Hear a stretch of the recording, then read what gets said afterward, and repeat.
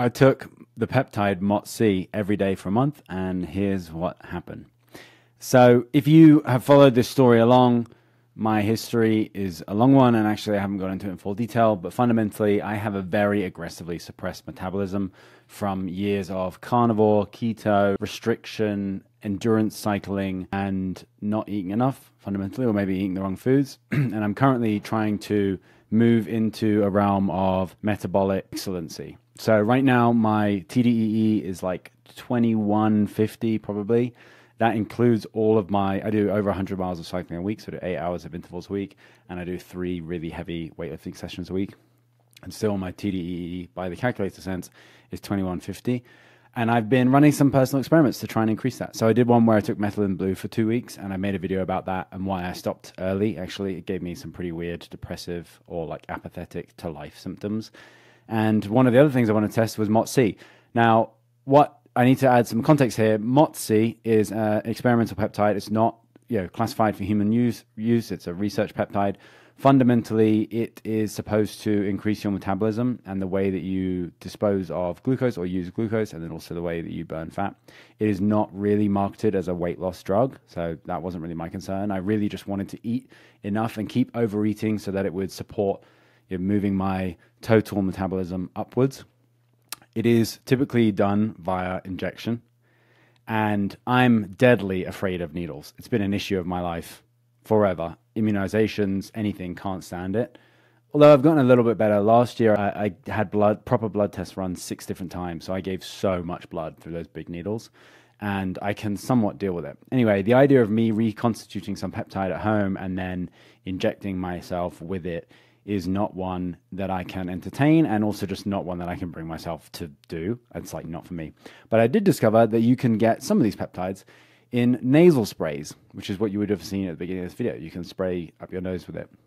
And there's some really interesting science on being able to absorb quite a lot of peptide through your nasal cavity into your bloodstream. So I thought I would try it out. Now I'm also pretty frugal, so I just get, ended up going for what I could find was like the best deal on the internet, which might be the main factor here.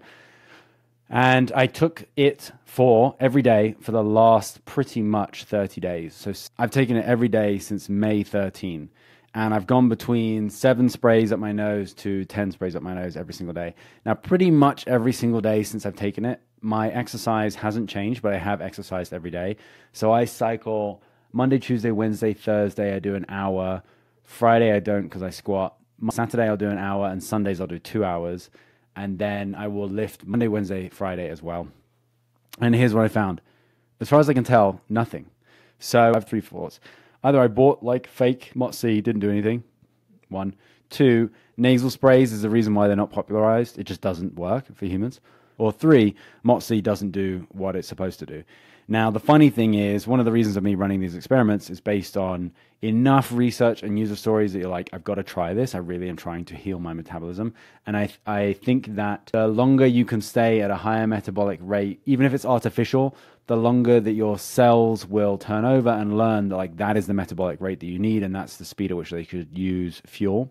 And so even if it's artificially improving my metabolic rate temporarily, on the whole, I do think that is a net positive experience.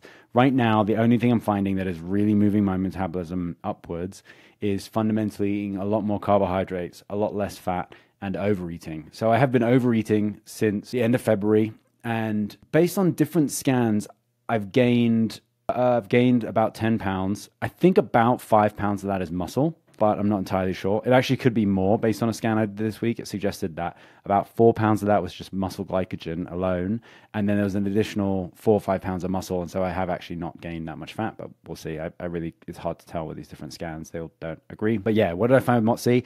Um, well, fundamentally, I'm spraying up my nose, so I sneezed a whole lot. I have had a lot of like random itching. I've actually, it's now pollen season, and I have really bad pollen allergies this year.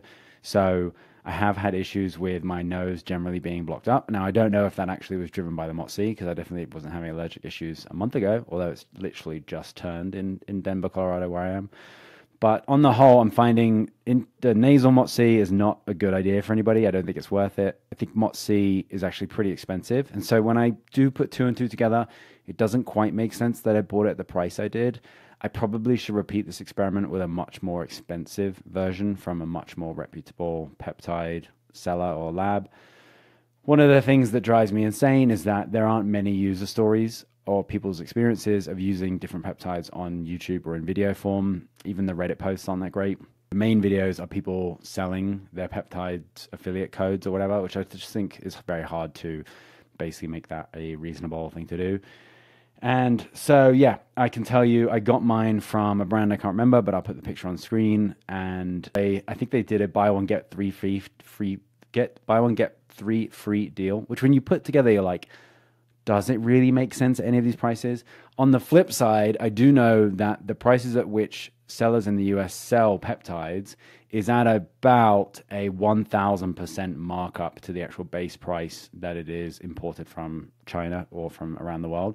And so it's reasonable to me that someone would try and go and sell on volume. Like I totally see that. Every rookie entrepreneur tries to do that. So it could be it could be a real could be a real one. I think I'm gonna there is another peptide that I found that you take orally, you just take the you just take the pill and uh, it functions in an interesting way. It does increase your metabolism it does do that partially through glucuronidation and some other steps. It does increase fatty acid oxidation, which isn't really something I try to do in general. So I'm not sure how that one's going to go or when I'm going to do it. That is pretty expensive, so I'm gonna I'm gonna hold off on that experiment. But yeah, my whole MOTS-c adventure didn't work out so well.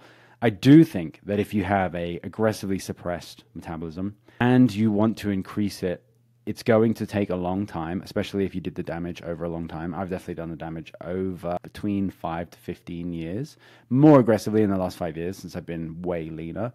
On the whole, like I'm glad I'm lean, but also, you know, I'm regularly eating 2,000 calories in a day, and that is just not enough food for an actual adult man. And it's not enough food for an adult man who cycles semi competitively and lifts like really heavy. So trying to fix that, I do think then there's room for people to play with these kind of experimental peptides that seemingly have very little downside, or at least to, to test with them. You really can't go too wrong if you do a little test to improve your metabolism because whilst it took me 15 years to get here, I don't really want to spend five getting my metabolism back up. I'm 36 in a couple months' time. That takes me to 40 to have the metabolism, but really, like, who knows what happens in that time. I would like to get back to a healthy metabolism as soon as possible, as should anybody. I think when you are trying to repair this, having done it for such a long time, the need to do it faster is quite important. I should be eating probably 4,000 calories a day, closer to maybe 4,500 calories a day with how much activity I do. And I just think about all of the things in my life that don't work, or all the things with my body that don't work on such an efficient metabolic rate, which concerns me really if I was to get super sick or you know, something else was to come along, which really is where that there is the kicker, right? When you have suppressed your metabolism, your body turns off a whole bunch of other systems, including your immune system, or at least it ramps down your immune system. I'm also dealing with, I didn't cover this, I don't know if I covered this in another video, but I'm also dealing with adrenal fatigue, late stage adrenal fatigue. And I just know, you know, even without the adrenal fatigue, if you remove that from the picture, if I could burn twice as much energy in a day, I would have way more energy. And that, as with as a late stage adrenal fatigue person, not having any energy is a real issue for me on the weekends. During the week, it's it's not, which is a crazy piece of that puzzle. As a father, as a husband, husband, husband and dad written on my shirt, I would love to have double the energy. My kids are wonderful beings, and they're so much fun to be around. And I want them to remember me as somebody that was fun and there and active and involved rather than somebody that worked all the time and then was exhausted, which I know that I know that feeling. So that's my MOTS-c review. I think everybody should somehow maybe try it out if they're into it. I think the only real effective way for me to do it if I was going to redo this experiment is to inject myself, and I'm just not there yet. So I'm going to stay away from that one. Stay away from the nasal peptides. Don't work is my general conclusion based on the three variations that I ran through. And until next time, hope you have a great day. At Patchwork, we work with people to help them achieve metabolic excellence. Fundamentally, that's really taking a look at where you are and your diet history and how you're feeling, your symptoms, that kind of stuff. And then digging down into the root causes of what is blocking your metabolism such that you are gaining weight or you are resistant to losing weight or you are consistently regaining any weight that you've lost, right? Calorie counting doesn't work, fasting doesn't work, carnivore doesn't work anymore. Why? We do that a number of ways. We do it through genetic testing, we do it through organic acid testing, but newly released, we also do that through some AI coaching. So I want to give you a quick preview of our AI metabolic coach. If you head to coach.patchworkfood.com, this is available right now, live, free to use. Have at it. So I just tag my answers there together. Then going to ask me, do I want to do a deep dive or go quick? Let's go deep dive. It's going to ask me what my TDEE is. We just looked on screens. We think it's about 2150. I think I'm being a bit aggressive, but 2150. Lean body mass, I'm at 20%. Okay, so based on 20%, how much I'm doing there.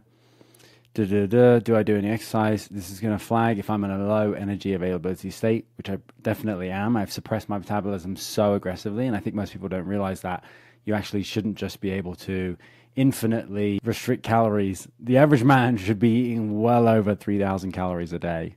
So I'll just do one last answer here. So it's guessing there that my metabolism is pulling out about 15.36 ca- uh, calories per pound of lean body mass and that would put me in a low energy availability state. I will flag here. People are always like, "Oh, your metabolism's low. You need to gain muscle." If I gain muscle, that won't change the 15 calories per pound number. That because that's changing the pound number and the calories number. Fundamentally, right, as an actual person, you should be able to pull more energy out of your body than I currently am.